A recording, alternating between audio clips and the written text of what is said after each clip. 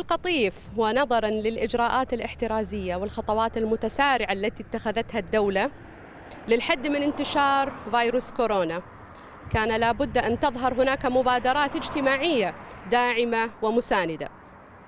من ضمن المبادرات الاجتماعية التي انطلقت أن يكون هناك تخصيص أو استمرارية في دفع رواتب السائقين الخاصين للمدارس لا يتم اقتطاعه أو إيقافه.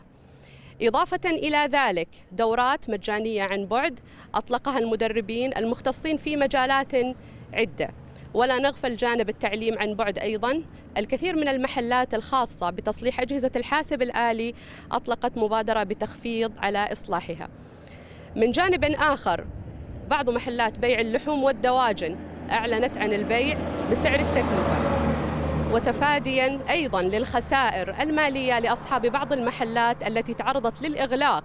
نتيجة الاجراءات الاحترازية آه، تم تصميم مول إلكتروني أو مجمع إلكتروني لعرض البضائع شريطة أن يكون محل تجاري مرخص أو أسرة منتجة إضافة إلى عرض لأرقام السائقين الذين يتولون عرض آه، استلام وتسليم البضائع.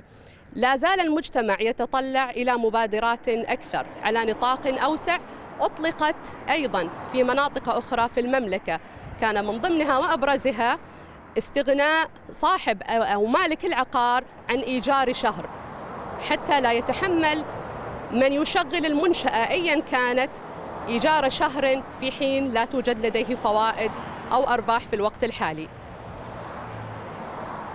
شارع من وراك قلة الحركة تؤكد أيضا الوعي بالنسبة لأهالي القطيف فيما يتعلق بالبقاء في المنازل. صحيح. كيف تشوفين الحال بالنسبة للأسر؟ وبعدين شاهدنا خلينا نتعرف عن الأسر في القطيف وش تسوي بأوقاتها بالمنزل؟ أكيد أن هناك صحيح. تشارك آه الحركة باتت قليلة جدا.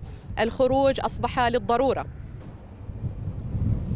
الجميع هنا يراقب ويتابع الإجراءات نعم. الاحترازية التي تصدرها الدولة على كافة أو من كافة وزاراتها يتم تبادلها وتداولها سريعا حتى يلتزم بها الجميع